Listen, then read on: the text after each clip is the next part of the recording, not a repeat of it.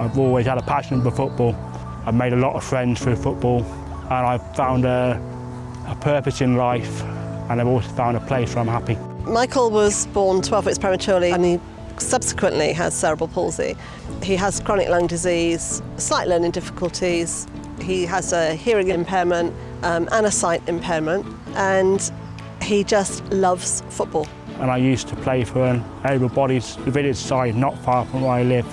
And me having cerebral palsy, I found it hard to get into that sort of team. So I first got involved by getting in touch with CP Sport and they gave me two clubs, Southampton or Bristol City. And I chose Southampton, being a Saints fan for years.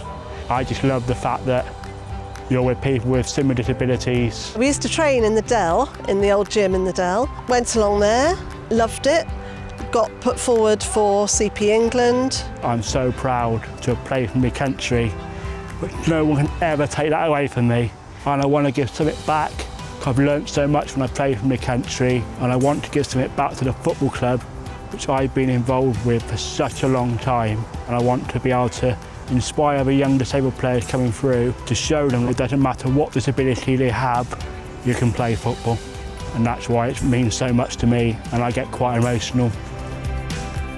I found about the BT Playmaker by my old football coach, Rob Pearce, who works for the Saints Foundation. I can meet other people over Zoom. So it's nice that you can ask someone you've never met before questions and get some feedback, and that was just brilliant.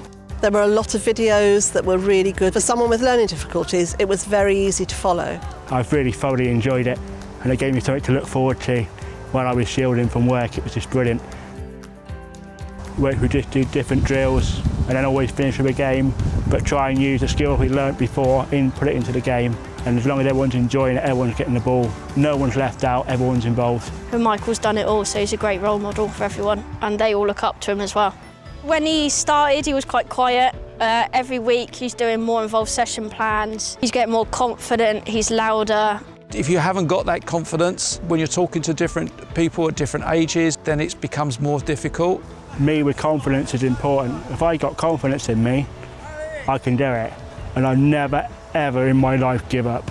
It's the first time I've watched a whole session and I'm amazed. I'm amazed at how he had the children doing what he wanted them to do. Uh, really proud of him, watching him grow, watching uh, the kids grow alongside him as well from his coaching. There's no reason why he shouldn't just work with any kind of abilities, any age groups as well. BT Playmaker by England Football had made me more confident and it's just put me a bit higher. It's made me a different person completely and I'm very proud to pick up the uh, certificate at the end.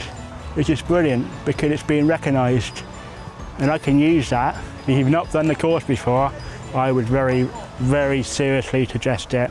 One of the best courses I've ever done.